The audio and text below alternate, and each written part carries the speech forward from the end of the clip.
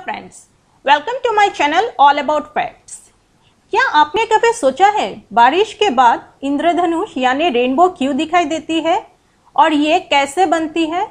तो चलिए, आज हम आपको इससे जुड़े बात बताते हैं। लेकिन उससे पहले आप जल्दी से मेरे चैनल को सब्सक्राइब करके बेल आइकन को दबा दें ताकि आपको ऐसे ही वीडियोस और भी देखने मिले।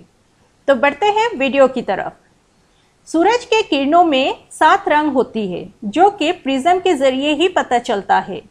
बारिश की बूंदे ट्रांसपेरेंट प्रिज्म का काम करती है, और जब सूरज के किरण प्रिज्म में से गुजरती है तो वो सात रंगों में बट जाती है, और इसी वजह से हमें इंद्रधनुष देखने मिलते हैं।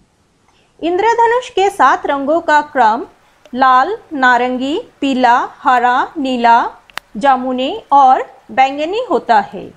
हालाँकि बारिश के साथ जब धूप भी होती है तो ही हमें इंद्रधनुष देखने मिलता है।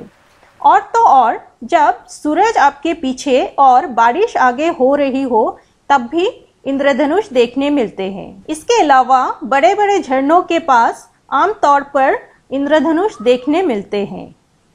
क्या कभी आपने एक साथ दो दो इंद्रधनुष देखे हैं? कमेंट करके ज़रूर बताएँ।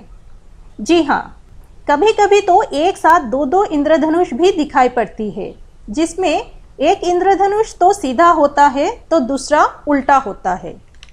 इंद्रधनुष हमेशा सुबह के समय पश्चिम की तरफ़ और शाम को पूर्व की तरफ़ दिखाई पड़ती है। तो इस वीडियो में बस इतना ही। फिर मिलते हैं एक और वीडियो में, एक और टॉपिक के साथ।